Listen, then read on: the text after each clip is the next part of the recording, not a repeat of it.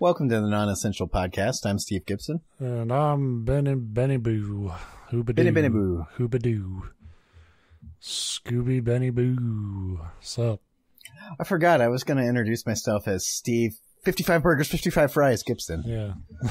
But uh, Again, callback to a very successful show, which we are not. I just liked that as a like a. I want that to be my actual nickname.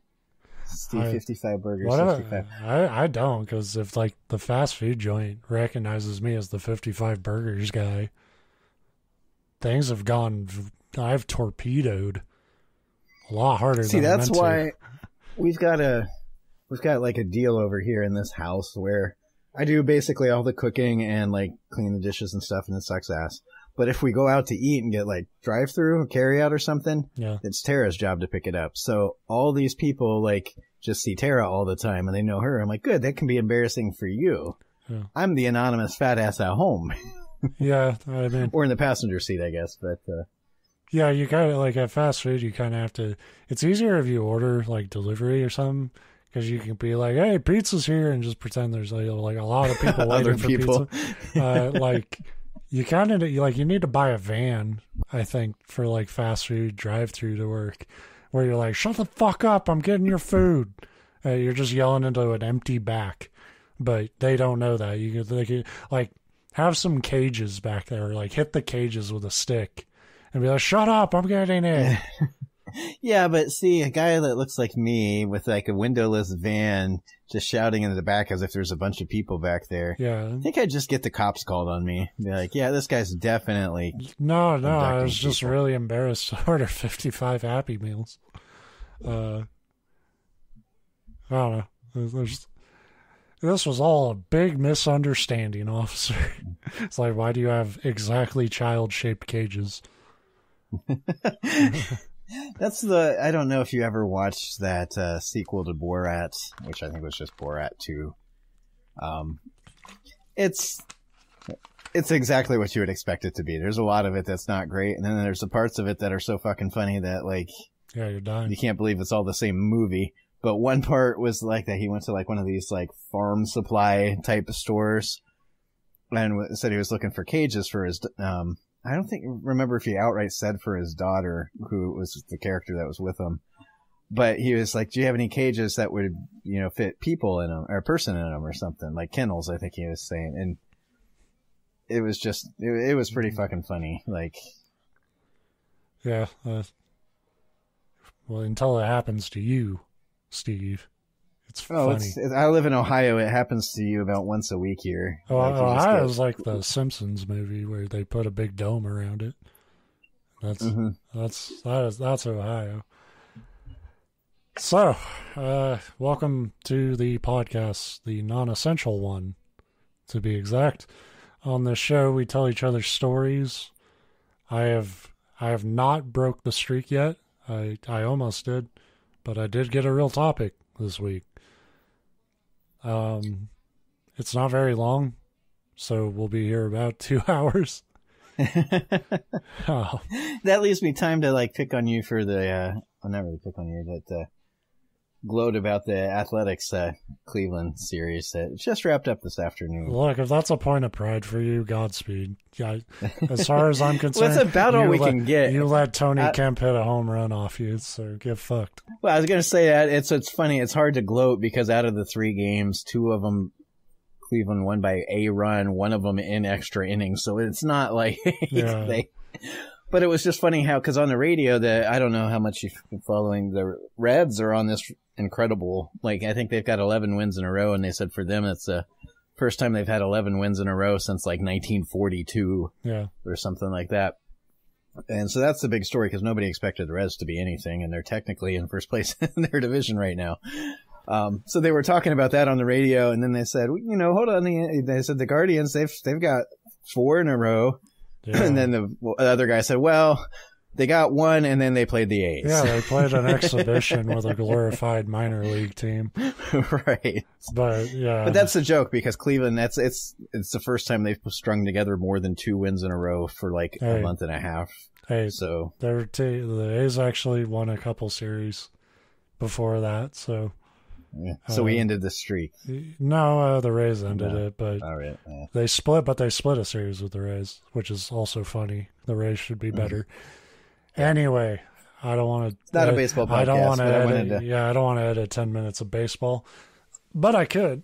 Uh, Yeah, I just had to bring up that line there because I thought it was funny too because it's equally like disparaging to Cleveland and to Oakland where they're like, well, they won one game and then played the A's. yeah, it's like making fun of Charlie Brown for missing the football when you have a broken leg. It's like, uh, so anyway, uh, today we're going to talk about William Fly, who Was is he pretty fly for a white guy? no, No. he's probably not the most remarkable person to talk about. Um, and he doesn't have that much of a backstory. Well, then I'm glad you picked him. So yeah, so so why did I choose to talk about him? Because I'm really bad at this still. Huh. William Fly was an accountant. He had two kids and then he died of a heart attack Nah. at 53. He was a The ends. he was a pirate, and Pirate, okay. and Well. we've talked about it before. Like I, I think I did a pirate episode really early on when we started this show, and I really genuinely thought like pirates would be a common well I dipped into to do the show because you and me Mhm. are totally into them. They're a really interesting part of history, but it turns out like pirate stories are there's either not a lot of meat on them or there's too much. You know, where it's Yeah. like, it's like I can't. there's like the handful of like the Blackbeards and, and that stuff that it's like yeah, you've heard about.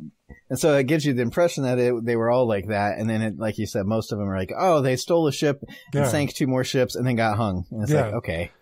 like, yeah. And uh, this story, you basically summed up this story. um, but there's a, it, there's a reason I picked him. Uh, so let's get into it. So William Fly's story, eh, we don't even know when he was born, uh, but it, we know his piracy career technically began, as, as far as we can know, began in 1726. Uh, he joined the crew of a ship named the Elizabeth Snow, which was captained by one John Green. well, then I'm going to choose to believe he was born in 1720. He was six years old when he took up. Uh, yeah, his, it could be just a little fucking. I'm toddler. finally potty trained. Can I join ye crew? Yeah, and John's like, "Fuck it, I don't care." Yeah. Supposedly, he claimed to the rest of the crew that he had been on a pirate crew before this, but whether that's true or he was just talking himself up, you know, you can kind of take it with a grain of salt. Yeah, I'm already picturing him as like the guy on the pirate crew that nobody likes. like, You would be wrong. ah, Uh, for now. For now. The Elizabeth Snow's voyage uh, was set to be from Rhode Island to West Africa. During the voyage, Fly and Captain Green argued relentlessly, and Fly ultimately conspired with the other crew members to remove him from command and be named captain himself. So, Fly is that remarkable sort of dude who can be doing something for like a month and somehow convince everybody he should be in charge of the whole fucking thing. Um, yeah, why not? yeah. Uh, and everybody's like, yeah, he seems cool. His name's William Fly, dude. The mutineers yanked Captain Green from his cabin at one o'clock in the morning, shouting, Upon deck, you dog, for we shall lose no more time about you. Oh, them some. Man, that's a sick burn Yeah. back in 1726. You call That's- it, uh, you call me a dog now, I start swinging. Fly was wielding a cutlass and told Green he had been named captain and ordered him not to resist, which is funny when a situation where you literally can't resist. Green was hauled to the deck and asked if he wanted to leap overboard on his own or if he wanted to be tossed. Green begged for his life for an hour uh, before the crew grew tired of him and threw him off the ship, which you let him go on for an hour. Yeah, I mean, it's like I want to know who the dude who was like that patient, that exact amount of patience. I'll give you It's one like hour to convince me. This is 12 Angry Men except the Pirate Edition, where there's just one guy like, hold on now, hold on now, let's hear him out. Yeah. No, no, he might have a point. Which is a dangerous person to be on the pirate ship because there's a good chance they also throw you overboard with Yeah. them. Like, just get rid of them both. So they threw him off. Green grabbed hold of the main sheet, which uh, in old ship terms is basically just what they called the main rope for a sail. Um, but one of the mutineers lopped his hand off with an axe, and Green plummeted into the water. It's like, what the fuck? yeah, which uh, that's got to be a terrifying moment when like your your only hope is your hand, and somebody's coming up to it with a big axe. Yeah. I think I'd let go because I, I want my hand. If I'm going to have to try to, like, stay afloat in the ocean, you know you're fucked anyway, but, Yeah, like, I'd rather. I don't know. I just, all of this shit. I like. I would have killed William Fly after the first argument. By Yeah, old, well, by old pirate rules, like you got it. It's like prison. Like you can't let somebody punk you. You know, like you're the captain. You got to fuck him up and be like, anybody else got anything to say? And if more than two people say yes in the middle of the night, you take the little boat and you s- like row Well, away. what kind of. What kind of captain is sleeping in his his cabin at one in the morning with the door like unlocked or whatever? Because Well, and I, well, I mean, you know, you gotta you gotta have a pistol loaded too. That's what I mean. Like, can't trust. if you just had the do- the door barred, sure they could kick it down, but by then you should have your pistols yeah, and you just blast whoever comes through first. yeah. Um, Green's first mate, Thomas Jenkins, was also brought to the deck and given the choice to jump or be thrown himself. Again, Jenkins pled pled for his life. A crew member hit him with an axe, this time in his shoulder. Um, and the last they saw of Thomas Jenkins, he was swimming and crying for help. The, the, after this, William Fly got to work setting up his operation. The Elizabeth Snow was officially given a Jolly Roger flag and renamed the Fame's Revenge. Which I actually the think problem I think Elizabeth Snow is a pretty good pirate ship name. Oh, it's a very good pirate ship name. And that, but the problem was it wasn't a pirate ship. He thought he was becoming a pirate, but he just had joined a regular ship. And then it was like, man, Captain Green, you're an awful pirate. It's like, When no do we shit, steal not. shit? It's like we move sugar. right. Uh, its path of operations would just be all along the eastern coast of America. They would get uh, some much needed experience in piracy uh, because it's not like William Fly was fucking Blackbeard. Um, I'm re- I'm still really not sure after reading the story what he sold the crew on. Besides, like, you, anybody can do it. Yeah, any of this green guy a dick? Yeah. Kind of nice though, right? Like, and the and the way that that was worded before you said it's like they killed these two people, and then he studied up on being a pirate. It's like so he didn't even bother learning to like study up on the ship until after he, he had Uh, assumed control. Like, well, I think he knew what he wanted to do. It was just kind of, you know, he's like, where's this? uh How did, like did you actually know how to do this, or did you just like read about it? But as we've learned from years of doing this show, just winging it, as long as you act like you know what you're doing, that's nine times out of ten good enough. Totally, yeah. Uh, it wasn't for Fly, if we're being honest, uh, but he definitely tried. Uh, the first ship they took was named the John Hannah. Uh, they captured her crew and also sank the ship because they've never done this ship before. And, yeah, I thought that was like the whole point yeah. of capturing the ship. They also went after a ship named the John and Betty, but was initially outsailed by it for some time. A determined Captain Fly pursued it, probably longer than any self respecting pirate would have. Uh, but eventually he got in range. They hoisted their Jolly Roger, fired the guns, and boarded the ship once it surrendered. I love that they waited. They followed it for what, in my mind, I'm picturing like months, just zigzagging, and, and they wait till they're within range to hoist a Jolly Roger. Like, haha, now you know we're pirates. It's like we, Actually, figured that, out. Actually, yeah, I mean, it was probably obvious, but you probably don't want to be in a prolonged race against a boat in case, With like, the- the yeah. fucking Navy shows up and sees, like, you're, you're holding a pirate. Yeah. and you and uh, for their trouble, they got sailcloth and muskets, so not a huge haul. So if the Navy did show up, it's like, okay, well, you blew your load for a couple rifles, and now you're fucked. But, but these are the best dressed pirates we've come across. They also, uh, from this haul, picked up an experienced sailor named William Atkinson, who knew the East Coast uh, better than probably any of the crew. William Fly decided to detain Atkinson and use him as the ship's pilot. Atkinson didn't want to do this, but like a lot of pirate crews, uh, or members of a pirate crew, he didn't have a lot of choice on the matter. That is something Yeah. that's not really touched on a lot in like pirate fiction and shit. Is a lot of those guys are like they got captured, and it's like you join or you die. Yeah, which is a bitch because then if you get captured by the Navy, it's like we're hanging you as a pirate. It's like, well, Yeah. Uh, which is an interesting point, which we will touch on later. uh, Fly told Atkinson, Your palavering won't save your bacon. Go you shan't. Discharge your duty like an honest man, or I'll send you to the devil with my compliments.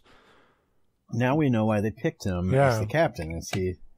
Yeah, say what you will. Fly had the fucking lingo down. Yeah, he's he's the Her- Herman Melville of pirates. Yeah. And he used the word palavering.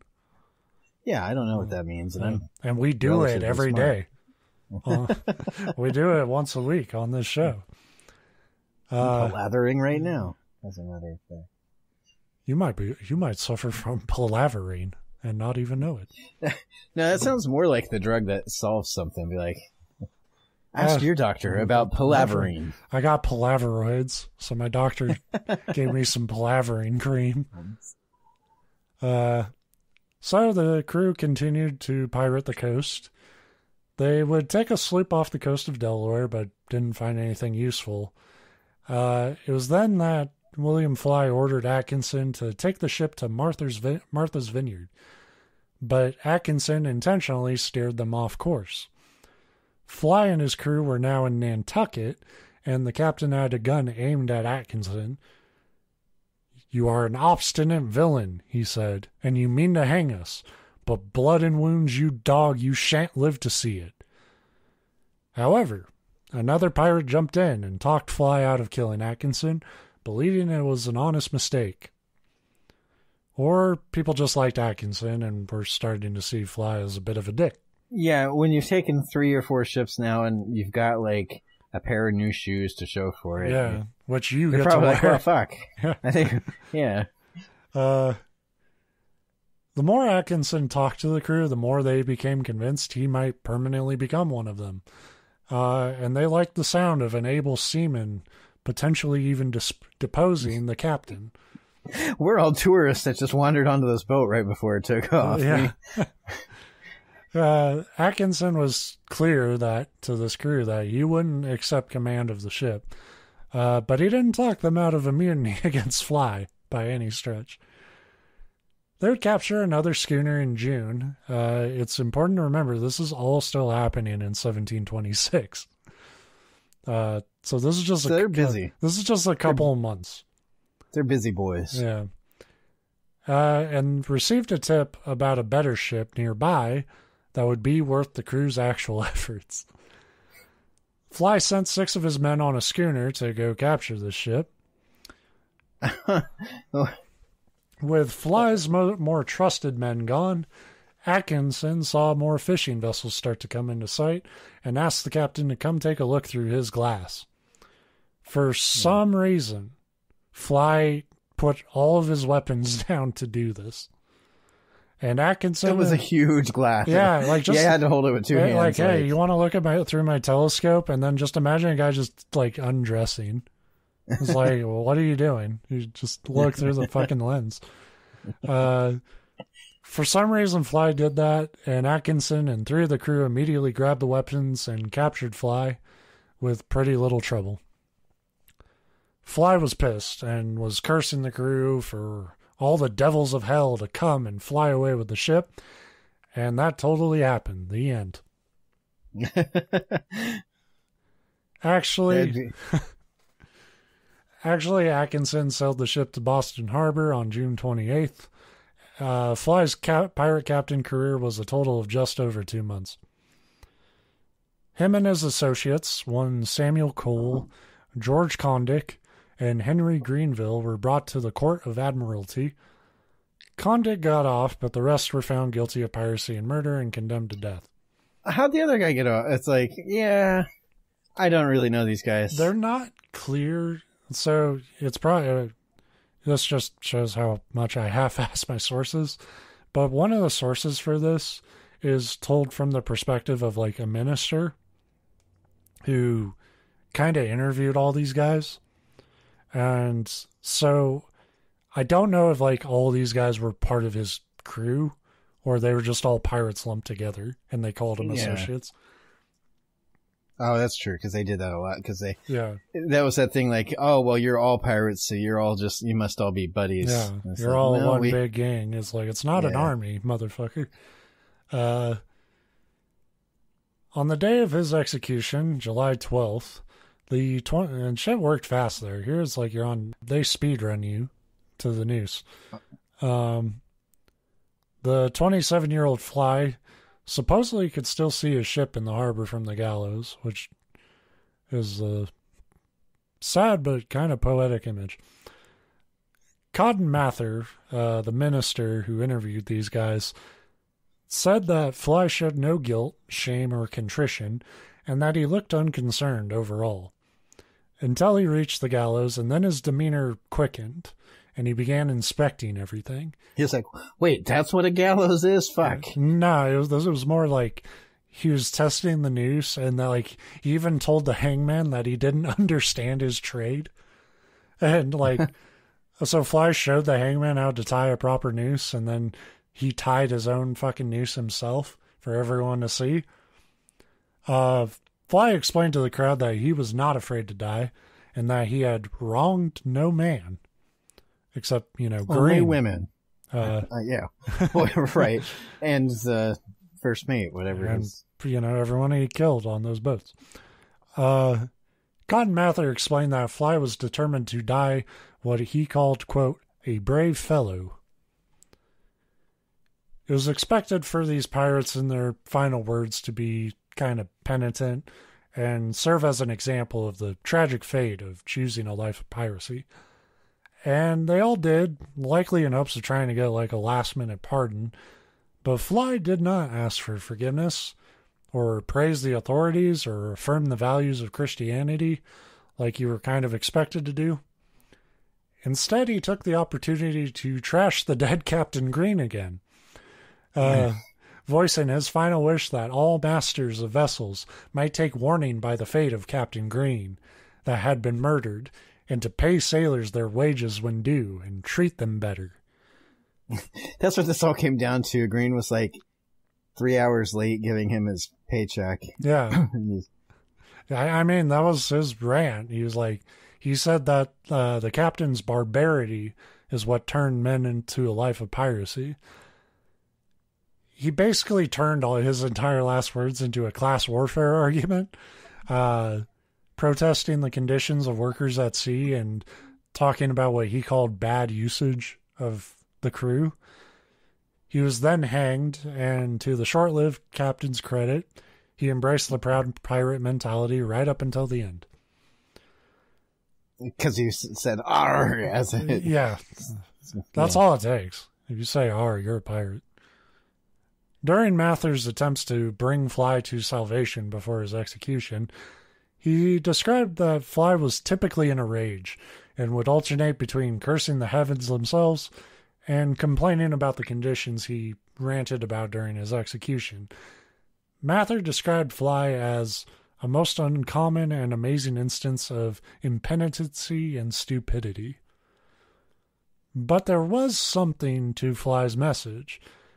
While pirates were terrifying and awful bastards, they were in some ways the natural counter to the wealthy and powerful, who were not above their own terror. Le- you know, quote, legit captains back then often used lashing and torture and killing among their own crew. And any history book or modern news story can show you what the wealthy and powerful get up to on land. right. And if Fly would not send that the message that the powers that be wanted with his final words, the powers that be made sure to send it with his body. After they were hanged, the pirates' bodies were placed in uh, gibbet cages and hung on the island uh, named Nix's Mate, and as a warning of the fate all pirates court when choosing that life. and for the residents of Nixon's Mate, it's like great, and now our whole village smells like corpse again. well, Nixon's Mate is not that big of an island actually, and this story's over. But an interesting thing about Nix's Island, like it's a, it's big enough to like it was like big enough to have a lighthouse on maybe. Um, but it said that a man was hanged for killing his captain once, and he warned before his death uh, that Nix's island itself will disappear as proof of his innocence. The island has eroded a lot over the centuries, and most of the vegetation is underwater now, but it's not gone. So hmm. I guess the dude so was he guilty. innocent. Yeah, yeah, he was guilty as yeah. shit. Yeah. Um. So yeah. Fuck. I, I, I, I expected global warming to be quicker. Yeah. Damn it. Um, it's it's interesting though because you you kind of ended like the whole ending and the point of it was, I what I was thinking uh, when you said that he his last words were more in a rage against his former captain. Um, I had read a book at some point and I forget exactly which ship it was about, whatever. But it talked a lot about that. Like, a lot of the captains um, at the time of quote unquote legitimate, you know, sh- sailing ships did some really, really shitty things. Um, totally.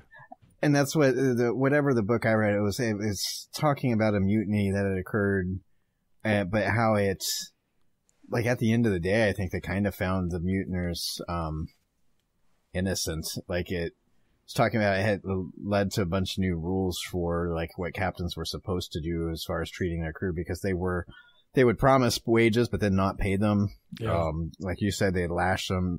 They would outright kill, uh, and that's what I think Spurn.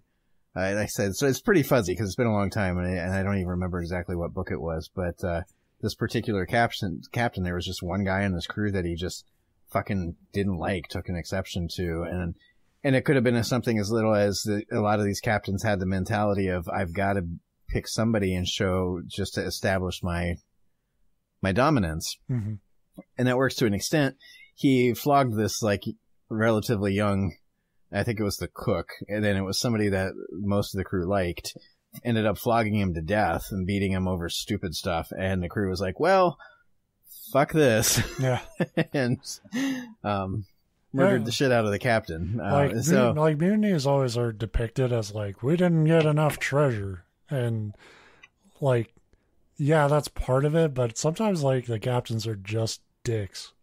Yeah, yeah, a lot of time we're incompetent, and then it's not just like oh our captain's stupid, we don't like it, but you're.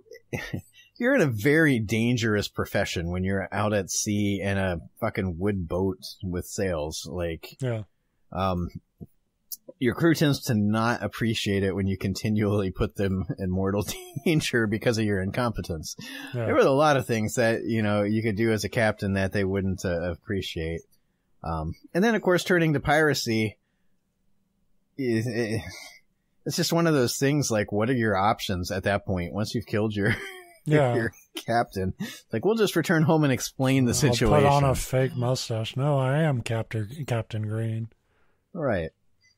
Um, although I imagine at the time they didn't have like the internet and like TV to some picture. You probably could just show up at a port on yeah. anywhere else in the world and say you're Captain Green. No, and, and, I mean, I got flesh eating scurvy.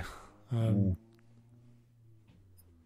So yeah, that's... but but yeah, it's he sounded like, but it's it's interesting because it sounds like it, at the end when they were describing it's just the constant rage and whatever, like it really sounded like he had just some either just like anger problems or just some kind of mental condition there.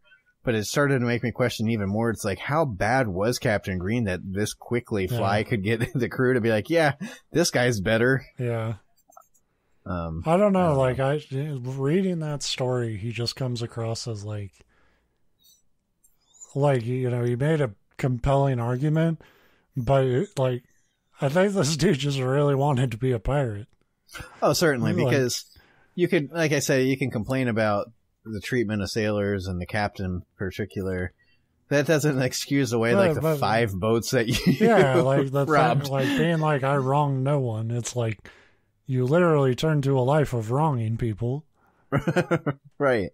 Well, and even if you like, if it was a Robin Hood thing, it's like I just stole stuff from people I didn't deserve. It's like, yeah, but you were killing people too. Yeah, Like, that's that's a harder one to.